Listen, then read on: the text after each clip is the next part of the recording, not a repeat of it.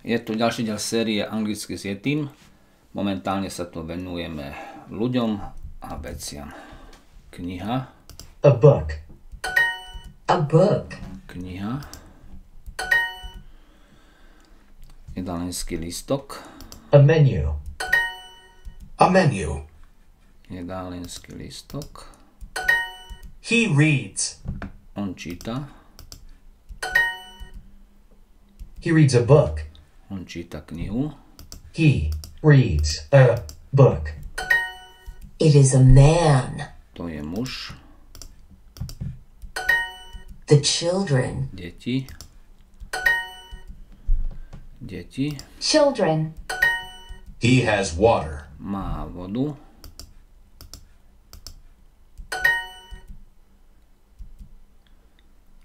muž má knihu, the man has the book, I have water.